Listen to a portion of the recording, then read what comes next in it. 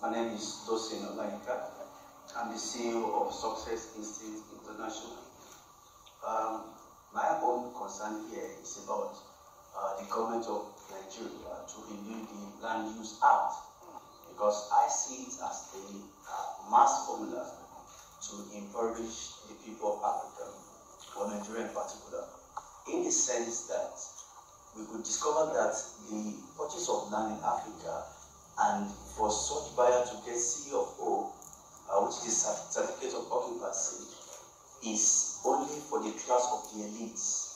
Like the young people like us who are investing in Nigeria, it, it happens to be a bottleneck for us because we don't get the C of O time.